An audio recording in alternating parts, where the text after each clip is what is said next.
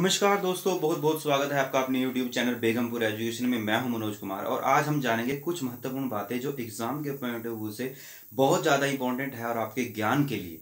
तो आजकल बहुत गर्मी पड़ रही है, गर्मी का महीना है ना दोस्तों तो आज हम सूर्य के बारे में वो बातें जानेंगे जो हर व्यक्ति को पता होनी चाहिए और बड़ी इंटरेस्टिंग है। तो जैसा कि आपके जो है घर होता है, घर से आपका जो ऑफ़िस है स्कूल है तो उसके बीच की दूरी होती है ना, जैसे कि मैं कहूँ कि मेरे कॉलेज मेरे घर से जो है बीस किलोमीटर है। तो क्या कभी आपने सोचा है कि जो पृथ्वी है और सूर्य है, इसके बीच की दूरी कितनी है?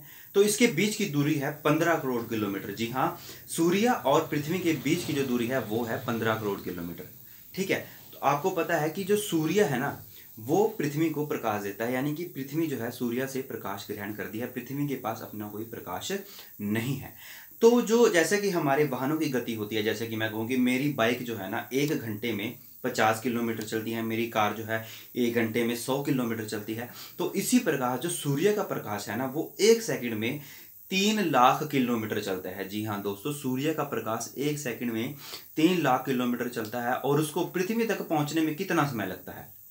हमारे पृथ्वी तक पहुँचने में सूर्य के प्रकाश को लगभग जो है आठ मिनट बीस सेकंड लग जाते हैं। जी हाँ आठ मिनट बीस सेकंड जो है सूर्य के प्रकाश को पृथ्वी तक पहुँचने में लग जाते हैं और पृथ्वी जो है सूर्य के चक्कर लगाती है, ये सब बातें तो सभी को पता होगी और वो इस चक्कर को तीन सौ पैंठ दिनों में पूरा करती है। तो ये थी कुछ महत्वपूर्ण बातें। ऐसे ही वीडियो को देखने के लिए हमारे चैनल को सब्सक्राइब करें और अपनी स्टडी की रिविजन करते रहिए। धन्यवाद।